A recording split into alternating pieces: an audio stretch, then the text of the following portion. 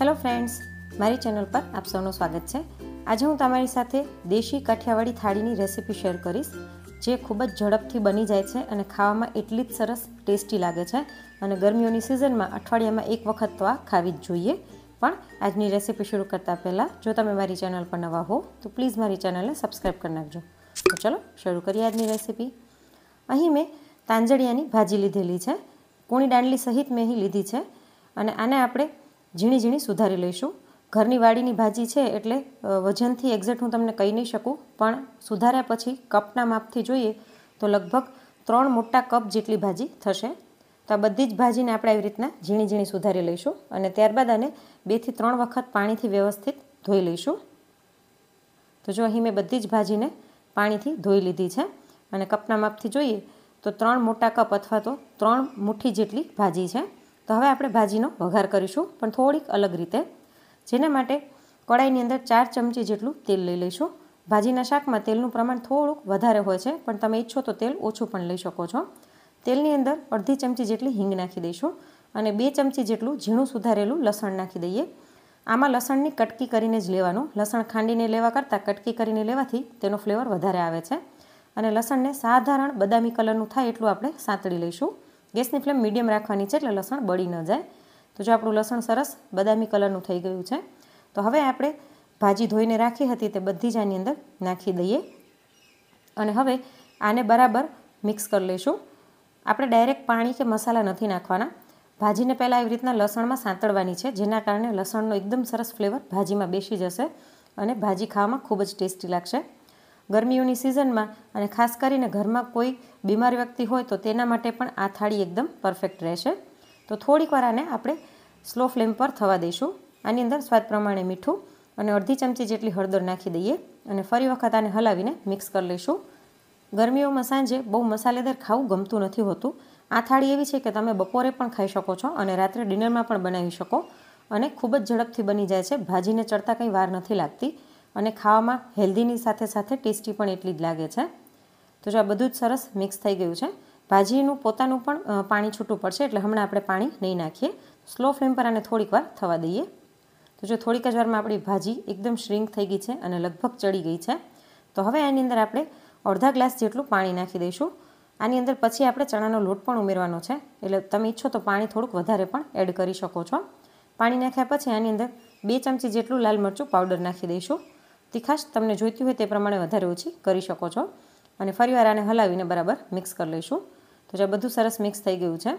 હજી હું પાણી આની અંદર થોડુંક નાખી દઈશ. મને ઓછું લાગી રહ્યું હતું એટલે. આને બરાબર મિક્સ કરી લઈશું. અને હવે ગેસની ફ્લેમ એકદમ સ્લો કરી અને ઉપરથી બે ચમચી જેટલો ચણાનો લોટ નાખી દઈશું. કાચો લોટ જ મેં અહીં લીધેલો છે. પણ લોટની કચાશ જરાય નહીં લાગે. આવી રીતના બે ચમચી લોટ નાખ્યા પછી સ્લો ફ્લેમ પર આને થોડીક વાર આમ જ સિઝાવા દઈએ. તો જો થોડીક વાર થઈ ગઈ છે, હવે આપણે આને ચમચાની મદદથી બરાબર મિક્સ કરી લઈશું. આવી રીતના થોડીક વાર લોટ રાખી મૂકવાથી લોટ સરસ બફાઈ જશે જરા એની કચાશ નહીં લાગે અને ભાજી ખાવામાં ખૂબ જ ટેસ્ટી લાગશે. તો બરાબર મિક્સ કર્યા પછી એકદમ સ્લો ફ્લેમ પર આને થોડીક વાર માટે હજી થવા દઈશું. તો જો થોડીક વાર થઈ ગઈ છે અને એકદમ ટેસ્ટી એવી તાંજલિયાની ભાજી આપણી તૈયાર થઈ ગઈ છે. તો હવે આપણે ગેસની ફ્લેમ બંધ કરીને આને સાઈડમાં રાખી દઈએ. તમને જો ભાજીની કન્સિસ્ટન્સી થોડીક પાતળી જોઈતી હોય, તો તમે હજી આની અંદર થોડુંક વધારે પાણી એડ કરી શકો છો. તો આને હું સાઈડમાં રાખી દઈશ અને હવે આપણે વણીને મકાઈનો રોટલો બનાવીશું, જેના માટે એક તપેલીની અંદર એક વાટકી જેટલું પાણી લઈ લઈશું. તમે ઘરમાં રહેલી કોઈપણ વાટકીનું માપ સેટ કરી શકો છો. તેની અંદર સ્વાદ પ્રમાણે મીઠું અને અડધી ચમચી જેટલું ઘી નાખી દઈશું અને થોડુંક પાણીને ઉકળવા દઈએ. જો પાણીમાં સાધારણ ઉભરો આવવા લાગ્યો છે, તો હવે આની અંદર એક વાટકી જેટલો મકાઈનો લોટ નાખી દેશો. ગેસની ફ્લેમ એકદમ સ્લો કરી દેવાની અને આને બરાબર મિક્સ કરી લઈશું જે વાટકીના માપથી પાણી લીધું, એ જ વાટકીના માપથી લોટ લેવાનો છે. એટલે બંનેનું પ્રમાણ સરખું રાખવાનું છે. તો જો સરસ મિક્સ થઈ ગયું છે, તો હવે ગેસની ફ્લેમ બંધ કરીને અને ઢાંકીને પંદરથી વીસ મિનિટ રહેવા દેશું. જો વીસેક મિનિટ જેવું થઈ ગયું છે અને આપણો લોટ એકદમ સરસ બફાઈને સીજાઈ ગયો છે. હજી સાધારણ નવ શેકો છે, એકદમ ઠંડો નથી કરવાનો લોટને. તો હવે આપણે આ લોટને કાથરોટમાં નાખી દઈએ. આની પહેલાં મેં તમારી સાથે જુવારના લોટની રોટલી કઈ રીતના બનાવી તેની રેસીપી પણ શેર કરેલી છે, જેની લિંક હું તમને નીચે ડિસ્ક્રિપ્શન બોક્સમાં આપી દઈશ. તો હવે લોટને કાથરોટમાં લીધા પછી આપણે હાથને સહેજ ઘીવાળો કરી લઈશું. તમે ઈચ્છો તો તેલવાળો પણ કરી શકો છો. અને લોટને એકાદ મિનિટ માટે બરાબર મસળી લઈશું. મકાઈનો લોટ છે તે ગ્લુટન ફ્રી હોય છે, એટલે આને થોડીક વાર આપણે મસળીશું. જો લગભગ એકાદ મિનિટ જેટલો મેં લોટને અહીં મસળી લીધો છે, તો આટલા લોટથી મોટી સાઇઝના બે રોટલા અને નાની સાઇઝના ત્રણ રોટલા બનીને તૈયાર થશે. તો અત્યારે હું મોટા મોટા બે રોટલા બનાવી રહી છું. તો આપણે બે લુવા કરી લઈશું અને હવે પાટલો લઈ લઈએ. પાટલા ઉપર આપણે થોડો કોરો મકાઈનો લોટ છાંટી દઈશું. તેની ઉપર એક લુવો મૂકી દઈએ અને એની ઉપર પણ થોડોક મકાઈનો લોટ છાંટી દઈએ. અને પહેલાં હાથની, હથેળીની મદદથી આપણે આને દબાવીને ફેલાવી દઈશું. થોડુંક આપણે ફેલાવ્યા પછી સાઈડની આની જે કિનારી છે તે ફાટે છે, તેને હાથેથી આવી રીતના દબાવતા જઈશું. આપણે ભાખરી કરતા હોઈએ ત્યારે જેમ કિનારીને દબાવીએ, એવી રીતના આપણે આને કિનારીને દબાવી લઈશું અને હવે વેલણની મદદથી હળવા હાથે આને વણી લઈએ.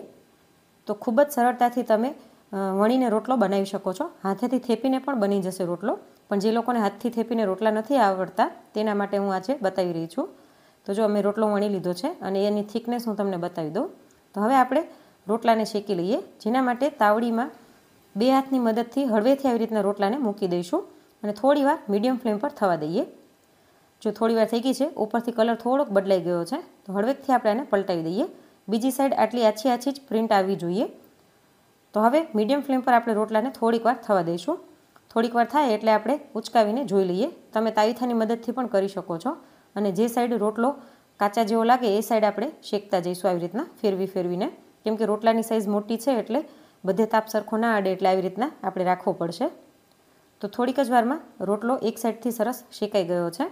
તો હવે આપણે આને ઊંધો કરી નાખીશું અને ત્યારબાદ મીડિયમ ફ્લેમ પર થોડીક વાર થવા દઈશું એટલે રોટલો પોતે જ એકદમ સરસ ફૂલી જશે. ત્યાં સુધી આપણે બીજો રોટલો પણ કરી લઈએ. તો જો એકદમ સરસ ફૂલેલો મકાઈનો રોટલો આપણો તૈયાર થઈ ગયો છે. તો હવે આપણે રોટલાને નીચે લઈ લઈએ. રોટલાને નીચે લીધા પછી આપણે ઘી લગાડી દઈશું.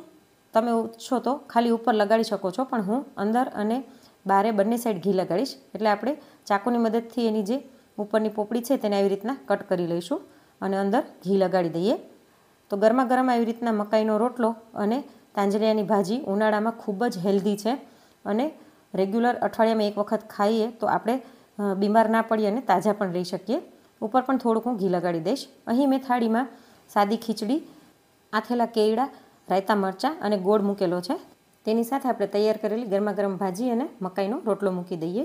તો આજની આ દેશી કાઠિયાવાડી થાળી તમને કેવી લાગી તે પ્લીઝ મને કોમેન્ટ કરીને જણાવજો. અને જો આજની રેસીપી ગમી હોય તો લાઇક કરીને વધુમાં વધુ શેર પણ કરજો. અને આવી જ અવનવી રેસીપીઝ જોવા માટે મારી ચેનલને સબસ્ક્રાઈબ કરવાનું ના ભૂલશો. Thanks for watching.